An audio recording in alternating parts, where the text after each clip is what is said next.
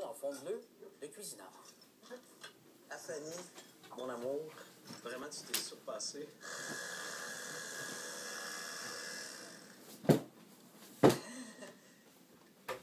Joyeux Noël tout le monde! Joyeux Noël! Qui veut la cuisse? Si vous en avez besoin pour votre repas de Noël, c'est chez Canadian Tire.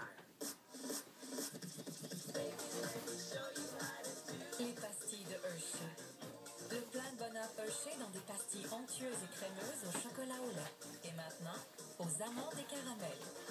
Un pur bonheur.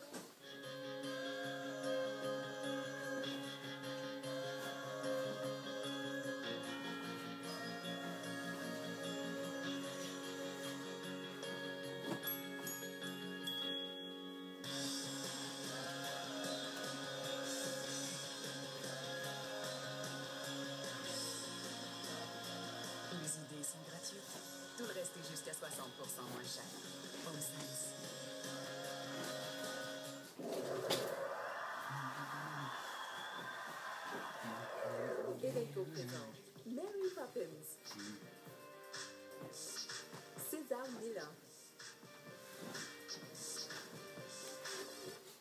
Sous-titrage de cette chaîne vous est présenté par Tylenol complet, rhume, toux et grippe, plus anti-mucosité. Pour le soulagement efficace de vos multiples symptômes, faites confiance au sirop Tylenol complet.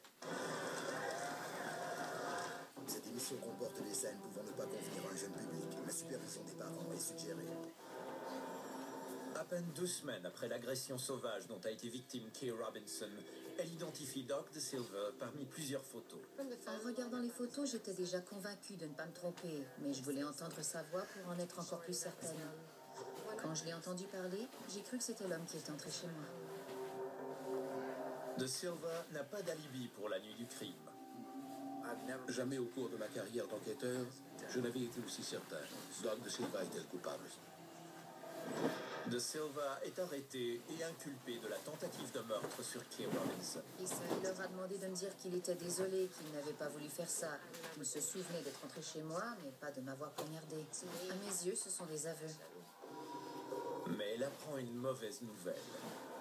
Les empreintes digitales de De Silva ne concordent pas avec celles relevées sur le verre de plastique bleu saisi chez elle. Même si les empreintes digitales de Doc de Silva ne le reliaient pas au lieu du crime, on n'a jamais douté de sa culpabilité.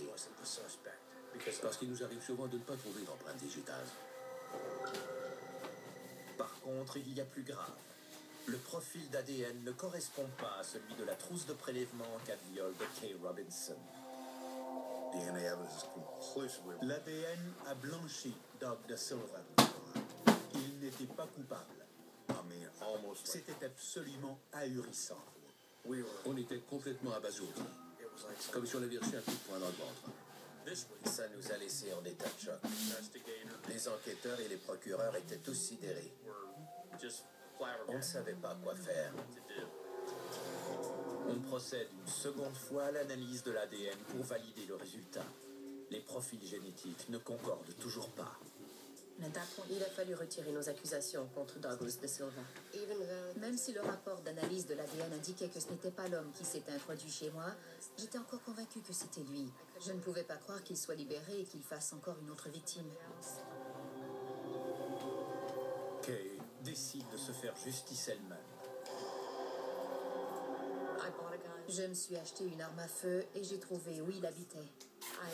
Je me suis rendue devant chez lui et je me suis assise dehors. Je voulais frapper à sa porte et lui demander s'il se souvenait de moi. Je voulais régler mes comptes. Mais Kay reprend ses esprits. Je ne l'ai pas fait à cause de mon fils. Je ne voulais pas croupir en prison. Mais si De Silva n'est pas l'agresseur, voilà qui signifie qu'un dangereux prédateur sexuel se promène en liberté. Les enquêteurs n'ont plus le moindre suspect. C'est un mystère. Je ne comprendrai jamais pourquoi un innocent a pris le risque de se mêler d'aussi près à une enquête au point d'en devenir le principal suspect. suspect. On se met à douter et à revoir toute l'enquête en se demandant est-ce que quelque chose aurait pu m'échapper? Des années s'écoulent sans la moindre piste.